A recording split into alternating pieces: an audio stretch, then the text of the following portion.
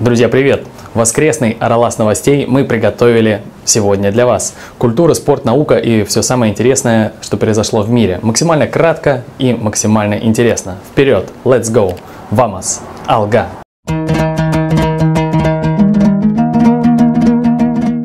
Популярная американская модель Кайли Дженнер побила рекорд по количеству подписчиков в Инстаграм среди представительниц прекрасного пола. Раньше лидерство принадлежало ее сестре Ким Кардашьян, но теперь она занимает вторую позицию женского рейтинга. Основательница собственного косметического бренда Kylie Cosmetics на сегодняшний день является обладательницей более 301 миллиона подписчиков в социальной сети. Знаменитость уступает только легендарному футболисту Криштиану Роналдо. На лучшего бомбардира в истории футбола в Инстаграм подписано более 390 миллионов людей. Жизнью светской львицы Кардашьян э, интересуется свыше 279 миллионов пользователей сети.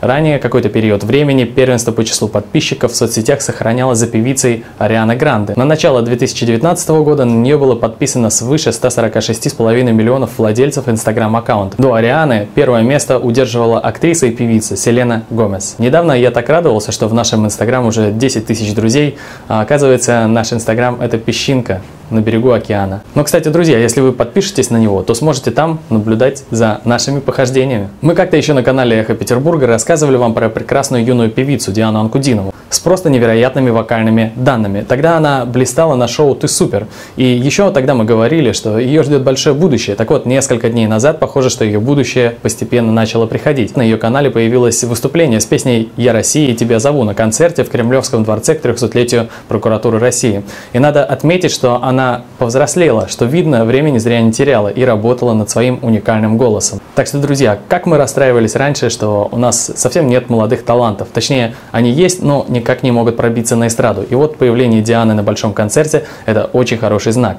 Желаем молодой звездочке продолжать в том же духе. Лента.ру опубликовала список самых ожидаемых музыкальных премьер 2022 года. К своему стыду я понял, что я не в курсе про большинство артистов и группы списка, но хотя отметил, что несколько есть интересных анонсов. И мне захотелось ими с вами поделиться. Например, легендарная группа Scorpions выпустит свой 19 альбом после 7-летнего перерыва. Альбом Rock Believer выйдет 22 февраля февраля 2022 года. И этот релиз состоится благодаря пандемии. Дело в том, что из-за карантина участники группы оказались все вместе в родном Ганновере и не придумали ничего другого, как запереться в студии и записать альбом.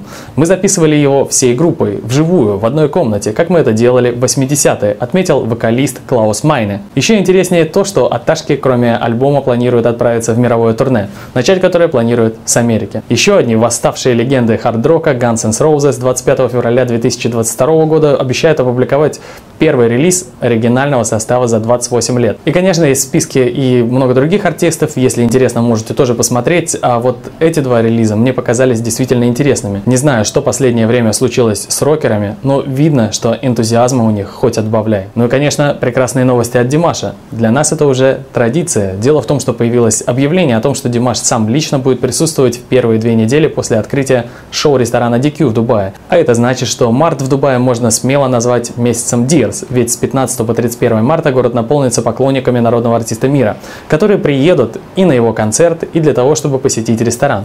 И также, друзья, сегодня все Dears отмечают праздник, годовщину выхода концерта Димаша Димаш Digital Show, который прошел онлайн в прошлом году и произвел невероятный эффект, что организаторам даже пришлось пойти навстречу тем, кто хотел пересмотреть этот концерт несколько раз. И Анна Баянская, режиссер концерта, теперь и клипов Димаша опубликовала в Инстаграм моменты, которые остались за кадром. И я обратил внимание, что запись такого концерта – работа посерьезнее, чем проведение обычного живого мероприятия. Я догадывался, что такой концерт сделать непросто, но теперь я уверен, что все полторы сотни человек, которые работали над ним, подустали не на шутку, но зато создали настоящий шедевр.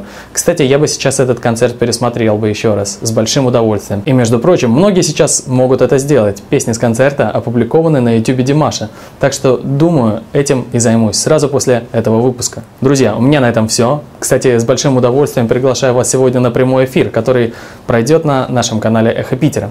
Накопилось много вопросов. Потом я знаю, что не все могли увидеть стрим с аэропорта Пулково, который я умудрился удалить сразу после того, как он закончился. Так что сегодня буду ждать вас на Эхо Питера. Посидим, пообщаемся, будет круто.